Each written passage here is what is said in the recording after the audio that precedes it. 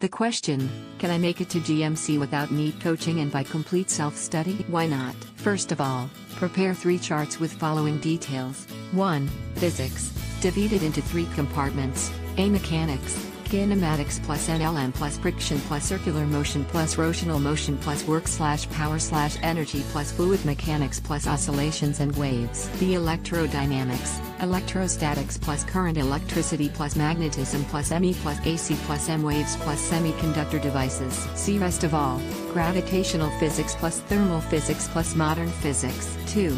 Chemistry divided into three compartments A. Physical chemistry, B. Organic chemistry, C. Inorganic chemistry. 3. Biology, divided in three compartments A. Portion to be understand, cell biology plus plant anatomy plus plant physiology plus human physiology plus human reproduction plus plant reproduction plus genetics plus biotechnology plus ecosystem slash population slash organism slash community. B. Portion to be memorized, animal diversity plus plant diversity plus cockroach plus plant morphology plus animal breeding plus plant breeding plus biodiversity plus pollutions. C portion to be memorized but after understanding, animal tissue plus endocrine system plus human health and diseases plus any topic of the B portion as per ER ability. Some tips, know ER ability? Give yourself marks based on ER current knowledge out of 10, in front of the topics written on the charts. Paste these charts on the walls of ER study room. Prepare a diary for ER progress report. If you are feeling better every day as compared to ER yesterday,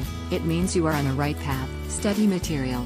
Physics. Don't touch NCERT. Away Allen modules from anywhere else and have fun. Past 10 years solved 8 slash NEET papers. Allen crop concise revision of physics. And obviously a lot of practice. Chemistry. Away Allen modules from anywhere else and have fun with the theory part. Read NCERT for organic and inorganic chemistry. Practice questions from Allen modules. Any good teacher notes for organic and inorganic chemistry. Previous year's questions. Biology. Read, reread and reread NCERT. Away Allen modules for better understanding. Don't touch any other book except Allen's NCERT. Don't practice a lot of objectives. Main focus should be on theory part. Most important. Remember revision is the single keyword for your aspirations. Sahil Singh, 1056 air. Experience of getting 360 360 in biology, 175 180 in chemistry and 155 180 in physics in NEET-based tests of India prestigious institute. For more answers, or more advice on effective studying,